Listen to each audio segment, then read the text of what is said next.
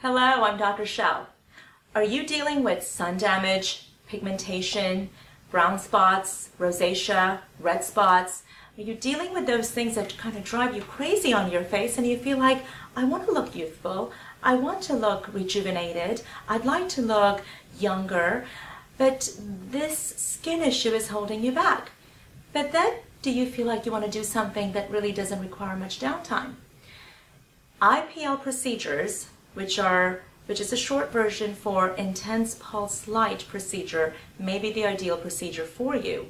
If you are of a lighter skin type from a skin type 1 through 4, and if you feel like you have these skin issues, then you might want to consider doing an IPL.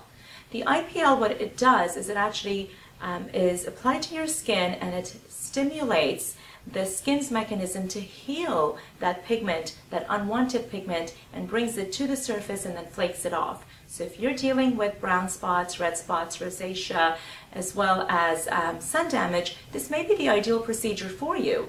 You would have minimal to no downtime, perhaps a slight darkening of your pigment initially for a day or two, and then flaking off.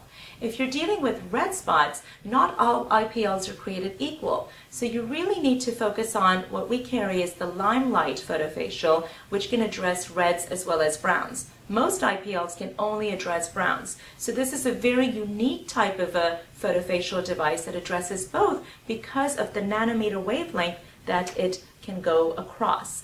So with this procedure, you would be able to get rid of those brown spots and sun damage in a very non-invasive, non-surgical, no downtime uh, manner, which I think would be something really enjoyable for you. So if this is something that you're interested in, please give us a call or go to my website, drshel.com, and we'll see if this is the perfect procedure for you.